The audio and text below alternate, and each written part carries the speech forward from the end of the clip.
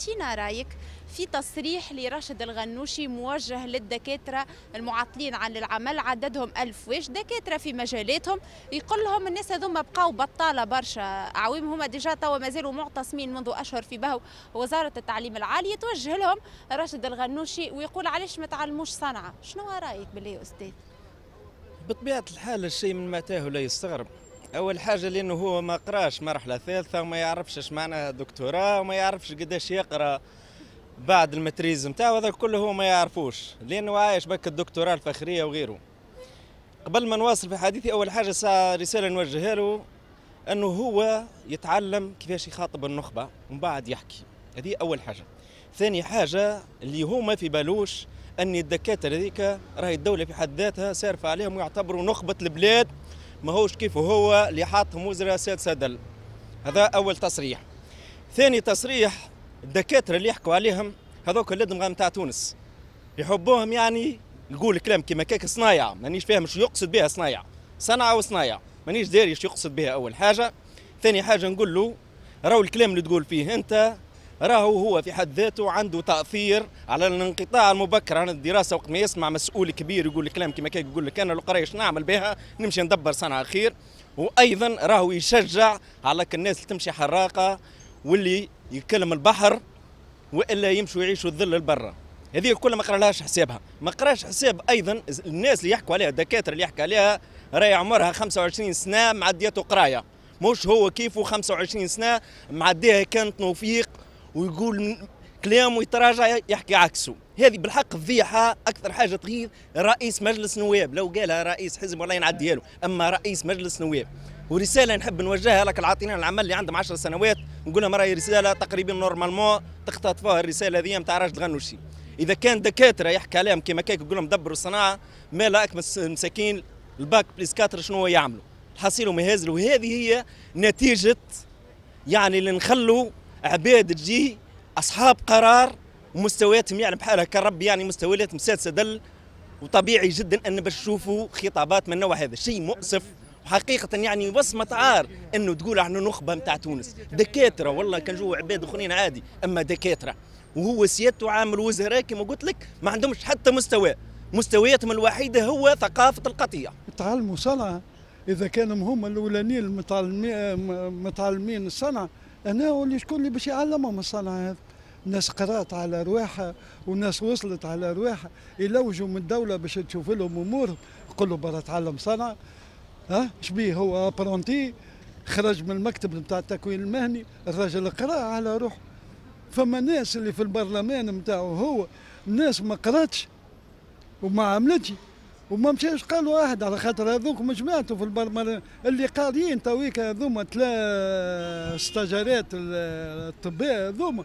قاريين أكثر من الشطر اللي عنده تويك في البرلمان غاديك ويقولوا لهم برا وقرا هذا اللي خمم غدويك على الشباب نتاع تويك. إيه،, إيه إيه حتى إيه. قول له إن شاء الله ربي يبقي علينا وعليك الستر الغنوشي. قل له راك ولد جنوب. ونهار آخر راهو فما ربي على خاطر كيما اولادك كيما أولاد الواحد. خمم على روحك اللي انت حامي والحامي راهو بالكلمة نتاعو وقت اللي كانت فما الحواميه صناديد تقول له فهمني ولا كانوا يضربوا على أولاد الصغار وعلى أولاد بلادهم وعلى واحد. وقت اللي خرجوا من الحامه خلاو التاريخ نتاعهم كله. وانت تجي للطبيب تجي للطبيب وتقول له كذا وكذا. يا بنتي قل له راه واحترم روحك باش نهار آخر يقعدوا يجبدوا عليك اللي أنت جنوبي جنوبي. راك ولد الحامة باش الناس كلها تتكلم عليك. قل له مثل جلولي فارس في تمكو ومثل فهمني ولا الدغباجي ومثل الأسود ومثل الناس الكل. قل له خلاو تاريخهم هذوكم في تونس. أما أنت تجي للطبيب قاري على روحه تقول له برا فهمني ولا؟ أول حاجة أنا باش نقولها راشد الغنوشي ما يساعدوش أنه الدكاترة هذوما باش ولا التعليم باش يدخلوا يخدموا في الدولة. على خاطر عنده ناس وهو لازم يبجلهم. إنسان ما عاشش في تونس من الثمانينات اللي هاجر البلاد مشى عاش في بريطانيا معايش بريطانيا بكتاب. جاء لتونس في الثورة أول الناس بجلهم هما اللي الناس اللي شدوا الحبس في الثمانينات في. تابعينه. كلهم حطهم في المناصب نتاعهم واعطاهم صاليري اللي مش الصاليري نتاعهم وناس ما قراتش. من فين في الحبس 20 و 23 سنة. واعطاهم التعويضات كاملة وخليهم ناس يخدموا. ما يعرفوش يقراوا اسم عبد ما يعرفوش يكتبوه.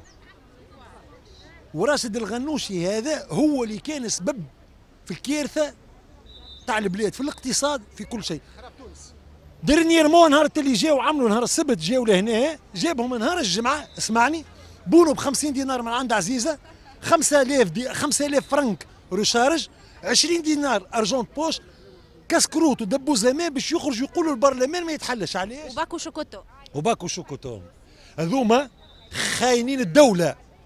الناس اللي جاوا لتونس نهار السبت وعيطوا شراو ضربوا تونس بالفلوس وعيطوا هما اللي خرجوا قالوا خبز وماء بن علي. ليه؟ جانا واحد نهار اليوم خبز وماء ما خلطناش عليه. جاوب سيد راجل غنوش يقول له كي انت متعلم التفلسف في الأديان علاش ما حليتش كتاب؟ وربيت أولادنا. بدل من ال- التلعثم السياسي. دكاترة هذوما هما العمود الفقري هما المادة الشخمة هما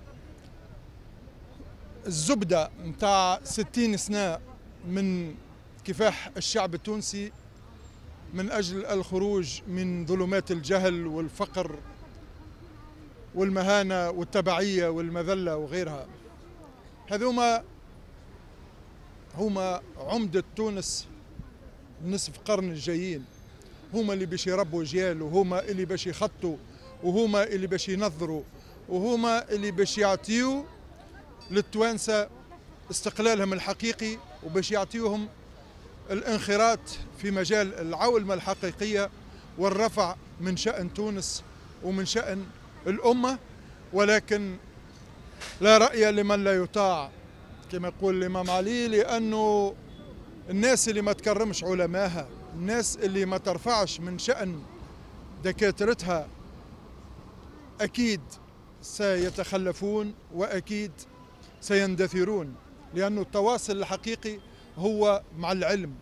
ومن أراد الدنيا كما يقول الإمام علي من أراد الدنيا فعليه بالعلم ومن أراد الآخرة فعليه بالعلم ومن أرادهما معا فعليه بالعلم. وللأسف هذا ما يفتقده نخبتنا. يهرولون نحو التطبيل والتزمير السياسي ولكنهم خوا من أساسيات بناء اقتصاد الدول وعزتها وكرامتها. قبل كل شيء آه، أنت آه، تعطي فيه في عبارة دكتور شنو الدكتور نتاعو هذا آه، رجل غنوش راهو بلغتنا إحنا القديمة مدب. مدب. الصفه نتاع الدكتور منين جاته هذه حاجة. اي يا أخي كان مجرد أستاذ نتاع تاريخ في في قابس ولا وين الصقمه وتو هذه الناس الكل تخدم بالدين كأنه هو ربي وصاها على الدين. قال له سي غنوشي من فضلك اسلي على الجماعة يمشوا يخرجوا على الدين. هذه حاجة. اثنين تو كلام ماهوش منطقي بكل شيء تجي الناس متخرجة عندها حاجة صيبه تالا برا تعلم صنعه معناها هذا كلام ما يعبر عليه بالشعبويه وهذا إفلاس النهضة. أنا ما- اجتماعهم وحديثهم. دليل على الإفلاس نتاعهم. هم يحبوا على رئيس آه، عنده رغبة في الكرسي نتاع الرئاسة. كيما المرزوق وكيما السبسي. أعطيني ندخل القصر وبرا خدمه على روحكم هذا رئيس طران ما يعرفش يبيع ويشري. وعمره ما كان عنده نية سرقة باش يحط دينار في مكتوبه فلوس الشعب. وبالمجيد جابته غير على البلاد. وأستاذ معناها بتاع دستور والجامعة تشهد بهذا وأنا نشهد. كنت نخدم في الجامعة. وأنا نشهد. وقت اللي السادة تبيع وتشري في الدوفوارات وتضرب في سويعة زايدة أكثر من شهراتها مرتين هو يخدم سويعاته ويروح. قيس سعيد déjà ولده عامناول doubla وما تدخلش وخلاه يعاود عامه. وعادي جدا. معناها لو إنسان معناها مسطره هاو ما يساعدهمش النوعيه ذي. يبيعوا ويشروا معاه. تو نتصور أنا لو كان يعيط قيس سعيد تسميتيه أنت دكتور.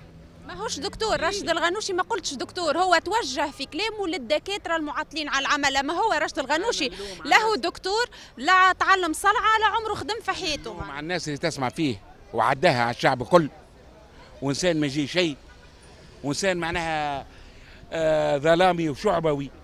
وكلمة البحيري لازم الشعب التونسي ما ينساهاش. إذا أنتم معناها عندكم 50000 آه، بوليس. إحنا عندنا 100000 والنتيجة واضحة من غير الشعب رهدان ومصل حاجي. يا أخي سامحني أنت نهار 13 جانفي ما خرجش الشعب للشارع يعيط بقابن عليه ومن بقى 14 يسبوا فيه. بالتالي هذه الناس معناها اللي مصلحته تفرض عليه باش يمشي. أنا نعطيك حاجة أخرى تو أنت تحكي لي على على الدكادرة اللي بشهيدة وخرجوا. وقت اللي جات الثورة شكون اللي دخلوا الوظيفة العمومية وخدموا فيها؟ جماعة الحبس. وهذا نحكي لك من مش من حاجة عشتها معناها. تابعين شكون هذول؟ ها؟ تابعين شكون؟ تابعينا اللي تشد يوزع في مناشير اللي محكوم عليه بعام ونص اصبح وظيف في وزارة التعليم العالي. هذا يعينه وبقيه وخذاه التعويضات. واللي مش هيدهم وبي وبيات متعبت عليهم وخدموا وجايين من الريف ويعلم بها مربي الغنوشي قال من برا وزيد يخ... تعلموا عاد- معناها ما يكمل هذا ما يوصل 50 سنة. وبالتالي المسؤولية تو ولا الناس اللي يتحمل المسؤوليه قيس سعيد هما فرغ هما الدستور عملوه لخاطرهم هما. فرغوه. معناها الجمهورية ما خلاله حتى دور.